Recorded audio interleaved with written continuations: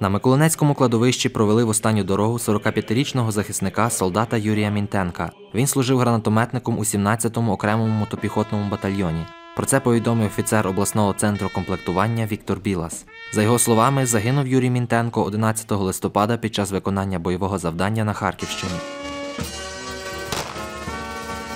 Попрощатися із загиблим прийшов Олег Іванців. Розповідає, раніше разом з Юрієм Мінтенком працювали на одному складі.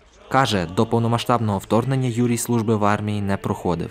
Такий був душа, людина. Він мені якраз перед тим подзвонив, е, казав, що типу, так само е, якийсь був період тяжкий, не було там роботи. Він мені подзвонив, каже, я певно йду на військкомат. Типу.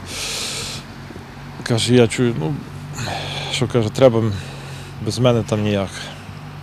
Це фактично це було його особисте якесь бажання. Солдата Юрія Мінтенка поховали на алеї героїв.